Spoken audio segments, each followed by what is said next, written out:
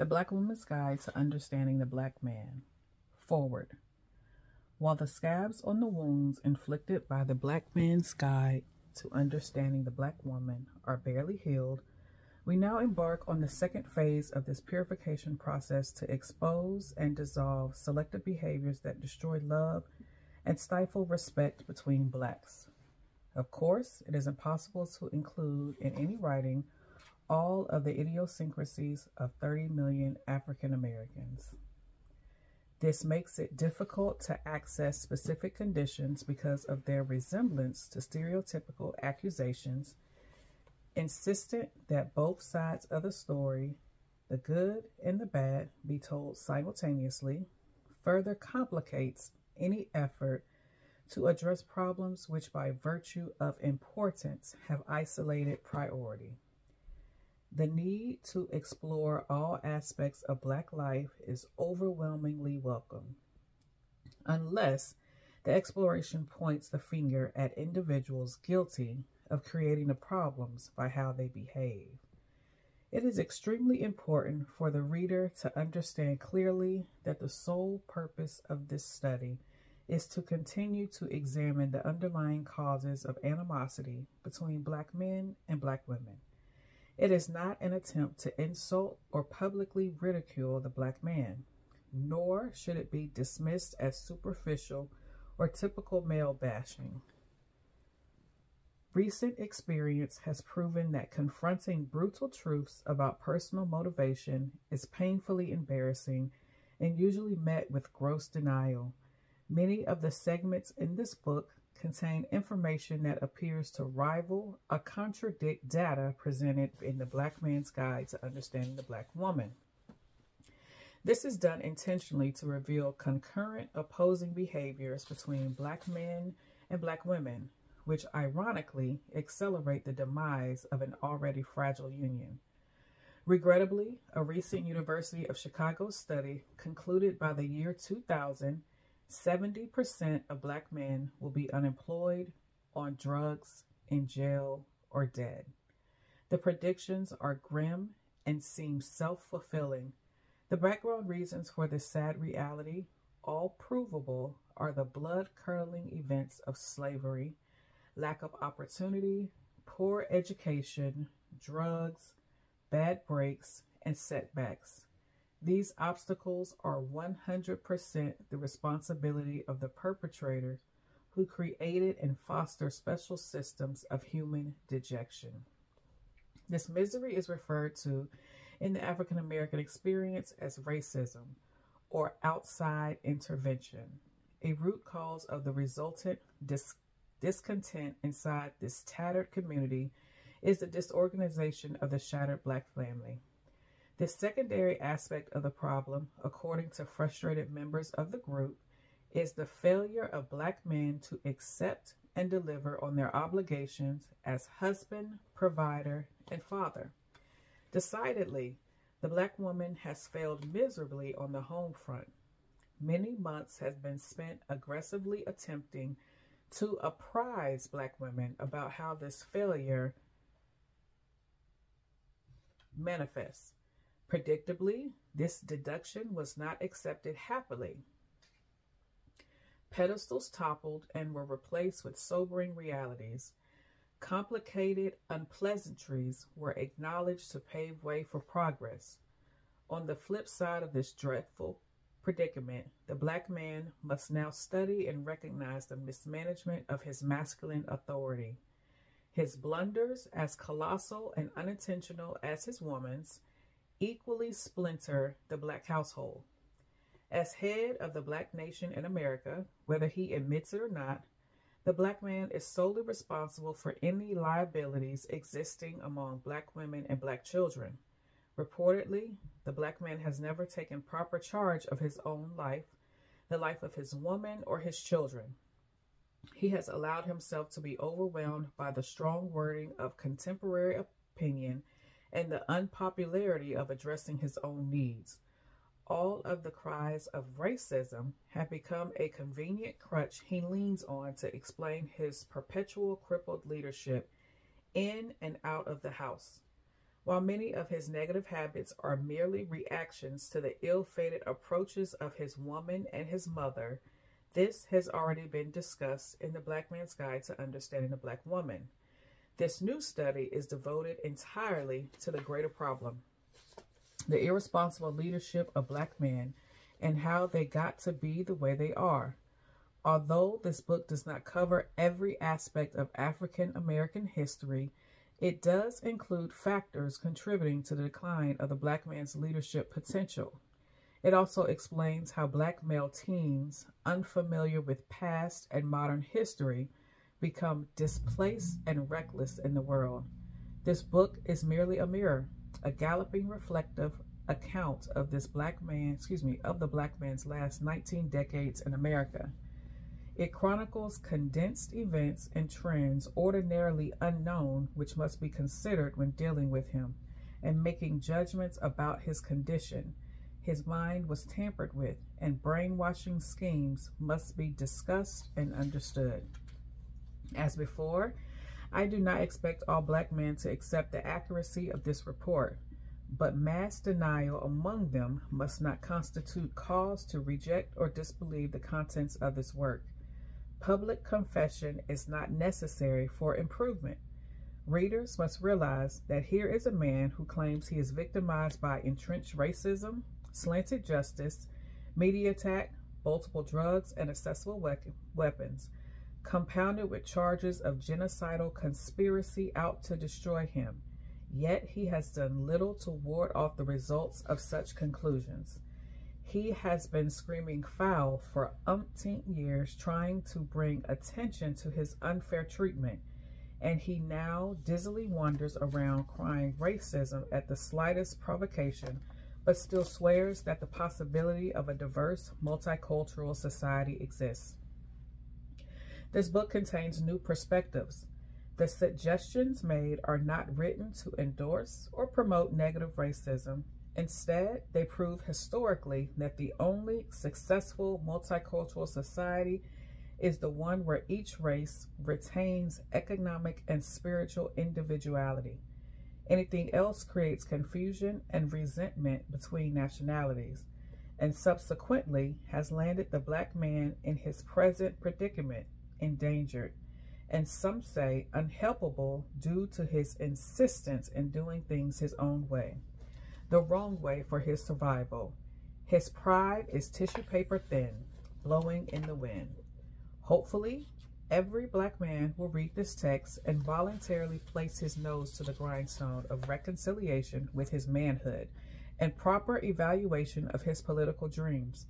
He must commit to save himself on any cost with minimal tears and moderate ego damage. False pride and stubbornness have no place when one is contending for self-preservation. And yes, the effects of slavery still rank as number one in the dismemberment of the black home and displacement of the black man, but the number two problem stems from contributory neglect of an internal nature that takes the form of A, disunity, B, distrust, and C, bad choices. Tragically, the number one problem cannot be reversed, but number two can be repaired. This is not shifting the burden, just smoothing it out a little to make it more manageable for correction. Black man, I have faith in you. Assalamu alaikum, Sister Shahrazad Ali. Chapter 1 Babyhood and Puberty. Adult black men over the age of 40 have similar childhood backgrounds. They remember their past somewhat fondly at times, and whatever complaints they recalled are seemingly small unpleasantries when compared to the horror reports and wayward status of black male youth today. The majority of them were taught proper table manners, how to behave in public, respect for elders, the importance of attending church, neatness, household chores, control of his mouth, to be nice to girls, to fight only if aggressed, the value of education, modest goals, moral convictions, obedience to parents, reasons to reject alcohol and tobacco, and why they shouldn't talk back. As a small boy, he played with ropes, Chinese checkers, puzzles, cards, dominoes, marbles, bikes, scooters, blocks, kites, wagons, electric trains, balls, trucks, guns, and cowboy hats. His make-believe heroes were Superman, G.I. Joe, the Lone Ranger and Tonto, the Cisco Kid, Batman, Zorro, Roy Rogers, and Davy Crockett and Daniel Boone. He learned of them from comic books, television, and radio programs. He was aptly entertained by Howdy Doody and Pinky Lee. He read Snow White, Little Red Riding Hood, Goldilocks and the Three Bears, The Three Pigs, and a host of nursery rhymes like Hickory Dickory Dock, Little Miss Muffet, Humpty Dumpty, London Bridges, and Jack and Jill. Television showed him moving pictures of Superman, and he watched Father Knows Best, Ed Sullivan, Ted Mack Amateur Hour, Beat the Clock, The Price is Right, Queen for a Day, Alfred Hitchcock, Roy Rogers, and Dale Evans, Topper and Perry Mason. He heard other stories about Paul Bunyan and John Henry. Included in his visual were other shows all featuring brave, handsome, white male performers with glamorous female starlets, mostly with long yellow blonde flowing hair and sky blue eyes. He committed her features to memory, and she was the first woman he drew a picture of in school. He loved to go to the movie theater to see gangster, western, and war flicks. Tarzan was Bwana and King of the Jungle. Every action, every emotion, attitude, or moral judgment was demonstrated for him on the big screen in black and white or color cinematography, with every situation featuring Caucasians conducting their business and social affairs. Lana Turner, Doris Davis, Dinah Shore, Marilyn Monroe, and Debbie Reynolds were just a few. few. Rock Hudson, Elvis Presley, Troy Donahue, and Clark Gable premiered as the top male actors. If the black man saw himself on TV, it was as the cook, the waiter, shoeshine boy, dishwasher, baggage carrier, car washer, maid, or babysitter, always, but always in the employ of wealthy whites. If he wasn't sweeping the floor or running from ghosts, he was seen dancing a jig, grinning as wide as possible, and stretching his eyes to the limit to show the most white or making other facial contortions designed to be funny and show him as ignorantly playing the fool. Some played in big bands and grinned along with the music but never spoke. He may have had the rare opportunity to see a raisin in the sun, imitation of life, Rochester on the Jack Benny Show, Amos and Andy in The Kingfish, Carmen Jones or Green Pastures or Stepin Fetchit with Shirley Temple. He did not seem to wonder why he wasn't featured in key roles in the movies or on TV. TV was fairly new during his childhood, and he was basically understood that, and it was basically understood that white people were in charge of TV land. Then he was introduced to Uncle Remus and the Tar Baby, Buckwheat and Alfalfa, Little Black Sambo, Aunt Jemima on the Pancake Box, Uncle Ben's rice, and a host of other Mammy products from syrup to shortening. He was aware of many outside influences that, that did not look like him, but his life had structure and his community was in agreement on certain behavior codes and in-home values. In the South, the differences between him and other races were more pronounced, and he was instructed and reminded with public signs that not only was he unalike, but had to move about in this world carefully. One of the main reasons he was taught to read was so that he did not accidentally go in the wrong door, drink from the wrong public water fountain, or get caught in certain areas after the sunset. His mother taught him to fear and be extra polite to whites as a way to protect himself, and she warned him of improper conduct, especially around white women and little white girls. He was taught to lower his eyes and never look them directly in the face, to remove his hat when addressed by them and never walk too close behind, beside, or in front of them, lest he be charged with being disrespectful. There was a penalty that went with disrespecting a white woman, so he must always keep his distance. He was warned that even an accidental glance could cost him his life. His parents and grandparents advised him to be friendly, smile, helpful, and do what he was told to do. Use good manners and be proud if whites recognized him or approved of his work. He was educated in a mode of behavior to save his life. He eventually heard stories about what whites did to blacks if they were in the wrong place at the wrong time. But he was not bored because blacks had their own sections of town and recreation outlets which they could free, freely frequent and which they were sometimes visited by whites at will. But he was strictly forbidden from ever trying to patronize theirs. He learned to dance for whites. No matter where he lived, whenever it was time to have a party, they had fun. His father, if present, earned about 1,000 to $3,000 a year in income, although he usually never knew it. Provisions were made for him, and he witnessed attempts to make sure he was not hungry. So, other than owning a television set, there had there was little to compete with his family or their status in life. He was relatively comfortable in most cases and didn't realize for the most part if he was rich or poor since his black neighbors and friends all appeared to live the same way he did. Many of their guardians maintained single parent households. It was not that unusual at the time. If one of his friends lived with both his mother and father, he was revered as quite special. Many of their mothers had men friends who visited, stayed overnight, or lived with them periodically.